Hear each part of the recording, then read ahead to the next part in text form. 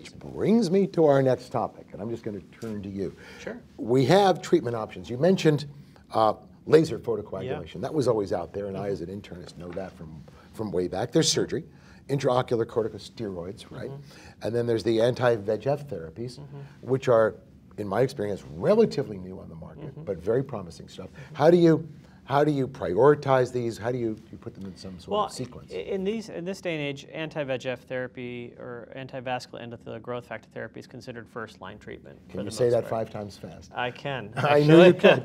uh, and and this this therapy has been pioneered over many many years, but the past seven or eight years has really been the the genesis and the usage of this in clinical mm-hmm. practice. Um, it was actually derived from the fact that they did samples of people's eyes and determined this was the factor that was causing a lot of patients developing diabetic retinopathy. And therefore, inhibiting this factor led to a lot of people developing improved diabetic macular edema and improve retinopathy scores as a result of this. In fact, okay. by giving these treatments, you can not only improve diabetic macular edema, but you can improve, improve diabetic retinopathy scores in those patients within those clinical trials. Okay. Um, corticosteroids are another alternative agent. Steroids we're all used to. The biggest problem with steroids is their side effect profile. Uh, cataract and glaucoma are the two big ones. If I may, the problem with steroids is that they're steroids. That's correct. And the glucocorticoid effect doesn't get obviated even with giving these steroids, and that's where this is coming from, okay. both the cataract and the glaucoma okay. perspective.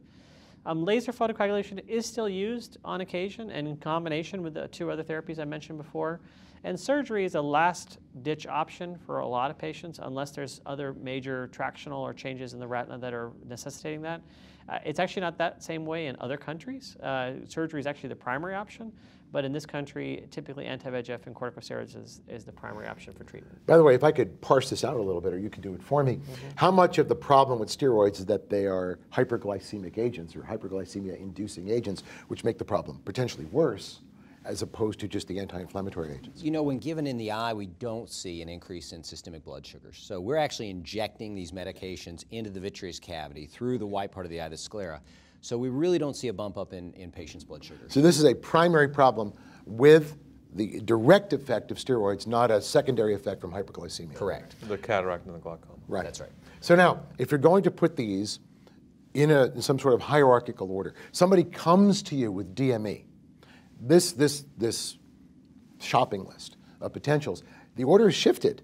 It's all, it's like uh, re reorganized itself. Where do you start? So, you know, Peter, we had that same question several years ago, and we actually uh, have a great organization called the DRCR Network. It stands for Diabetic Research Clinical uh, Network, and basically it's a group of uh, about 100 practices in the United States that ask these questions and, uh, and answer them um, independently. Um, and basically, they wanted to know which is better, laser, laser and steroids, or anti-VEGF therapy with either early laser or alone. It was called the DRCR Protocol I Study, and it showed without a doubt that the anti-VEGF therapy was the gold standard. And that really was a sea change for what we do. We no longer now said maybe laser's better, maybe this patient needs steroids first. Almost everyone now starts with anti-VEGF therapy. There are certain instances where you can add laser and maybe reduce the burden of treatment.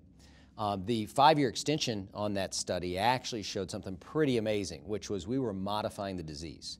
So patients in that study, the first year received nine injections in the eye of anti-VEGF therapy, but the second year they only received three.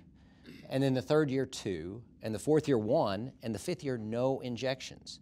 So you saw a decreasing number of injections needed over time to control their diabetic macular edema. Are you actually telling me that you're turning the disease process off with anti-VEGF therapy?